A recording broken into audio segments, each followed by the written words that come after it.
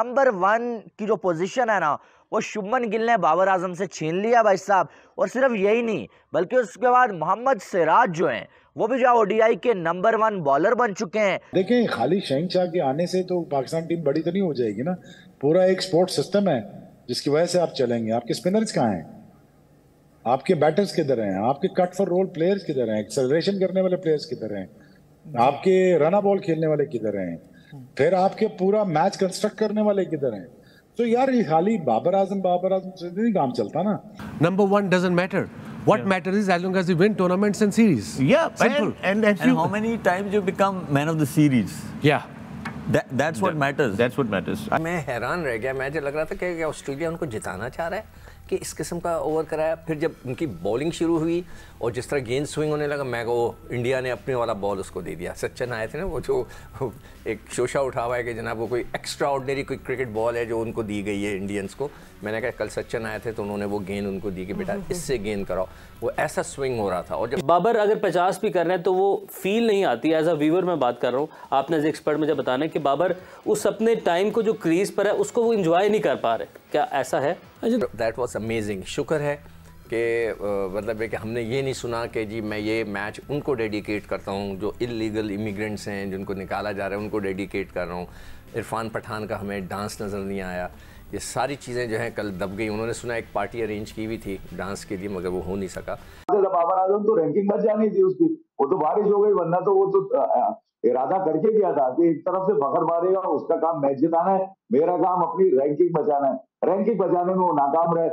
तो इसके नुकसान भी बहुत होते हैं। आप ये अंदाज़ा लगा लीजिए बाबर आज़म तकरीबन ढाई साल से जायद इस नंबर के ऊपर रहे और इन ढाई सालों में आपने कुछ भी नहीं लिया। पाकिस्तान पिछला अब निकाल लीजिए।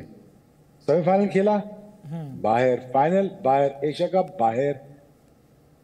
पिछला वर्ल्ड कप क्वार्टर फाइनल में बाहर। कोई बड़ा टाइटल आप जीतने में कामयाब हुए? आप जिम्बाब्वे को मार के वेस्ट इंडीज को मार के नंबर वन बन सकते हैं ये आपकी खाम ख्याली है। दोस्तों जब वर्ल्ड कप में पाकिस्तान अच्छा परफॉर्मेंस नहीं कर रहा था तब पाकिस्तानी फैंस ये कहते हुए खुद को एक तरीके से आप कह सकते हो खुश रख रहे थे कि हमारा टीम परफॉर्मेंस तो नहीं कर रहा है फिर भी हमारे बैट्समैन हमारे बॉलर बाबर आज़म साइंस अफरीदी जो आईसीसी का ओडीआई रैंकिंग है, वहाँ पर नंबर वन है। भारत की टीम इतना अच्छा परफॉर्मेंस करने के बाद भी कोई भी प्लेयर नंबर वन रैंकिंग पर है नहीं।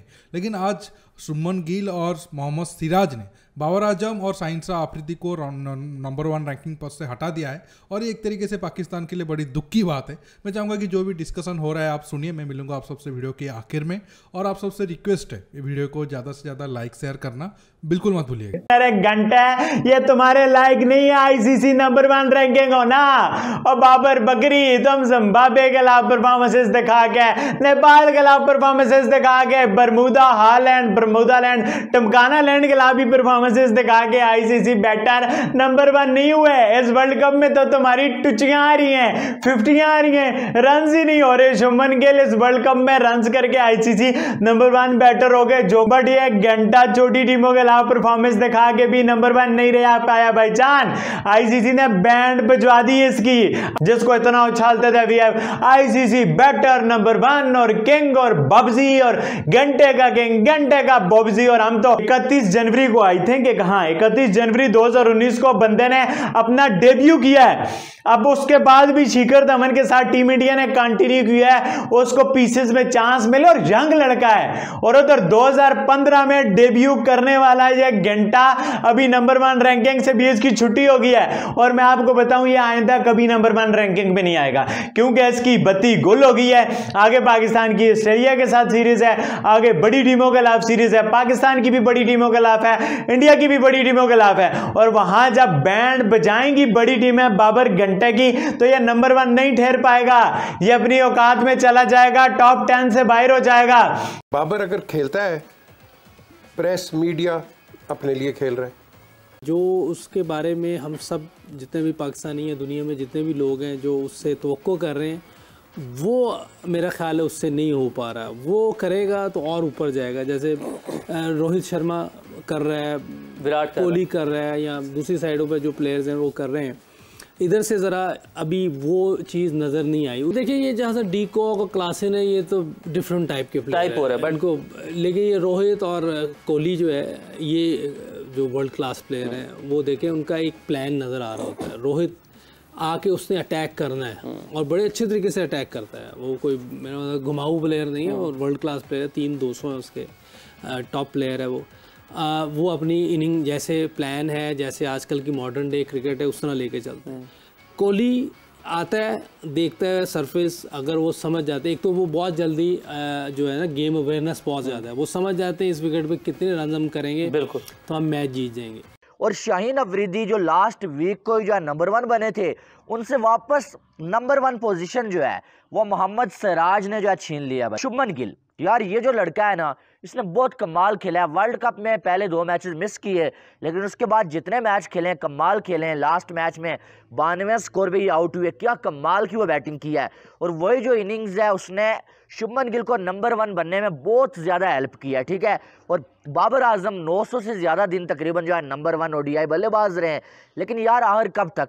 जब तक नंबर वन आप तब भी रहते हैं जब आप परफॉर्म कर रहे होते हैं, ठीक है? बाबर आज़म ने, ठीक है वर्ल्ड कप से पहले जो है छोटी मोटी टीमों को मार के नंबर वन तो वो बन गए थे, लेकिन अब उनका असली जो इम्तहान था ना नंबर वन बल्लेबाज का, वो ये वर्ल्ड कप में था, ठीक है? और वर्ल्ड कप में बाबर आज़म की जानब से कोई एक भी तसली बख्श जो वो इनिंग्स देखने को नहीं मिली है। देखे कि आप नंबर वन ओडीआई के अगर बल्लेबाज है भाई तो आप तकरीबन जो है वो दो सालों से ज़्यादा। और उसके बावजूद आप अगर देखें तो भाई आप जो है वो वर्ल्ड कप में टॉप जो है वो पंद्रह में भी नहीं आ रहे हैं। टॉप पंद्रह में भी नहीं आ रहे हैं जिन्होंने सबसे ज़्यादा स्कोर बनाए। अब जो है नंबर वन जो ओडीआई बॉलर हैं वो मोहम्मद सराज बन चुके हैं। नंबर चार पे कुलदीप यादव और पाँच पे जो है वो शाहीन अफरीदी आ चुके हैं। और नंबर सराज ने जिस तरह से बॉलिंग की है ना पूरे एशिया कप में, वर्ल्ड कप में, मुझे ऐसा लगता है कि मोहम्मद सराज जो है नंबर वन पोजीशन जो है डिज़र्व करता है, ठीक है? और आने वाले दिनों में आपको मोहम्मद शमी भी टॉप सिक्स में जो है नज़र आने वाले हैं। एक, दो मैचेस आप और सबर करें, ठीक है? वो कहते हैं ना कि चार दिन की चांदनी। तो वही काम हुआ शाहीन अफरीदी के साथ कि चार दिन वो नंबर वन रहे, लेकिन उसके बाद सिराज ने वापस दोबारा से नंबर वन पोजीशन जो है, वो शाहीन से जो छीन लिया है। ओडीआई की रैंकिंग में नंबर वन बॉलर भी इंडिया का है और नंबर वन बैटर भी जो है वो इंडिया का ही है, ठीक है? तो आप देखें, विराट कोहली चार पे आ चुके हैं, रोहित शर्मा भी जो है कमाल कर रहे हैं भाई। छः पे रोहित शर्मा भी हैं, यानी कि इंडिया के टॉप थ्री बल्लेबाज जो हैं, वो जो है, वो इस टाइम जो है, वो टॉप सिक्स में आ रहे हैं। फिर ये टीम नंबर वन ना हो तो भाई क्या हो?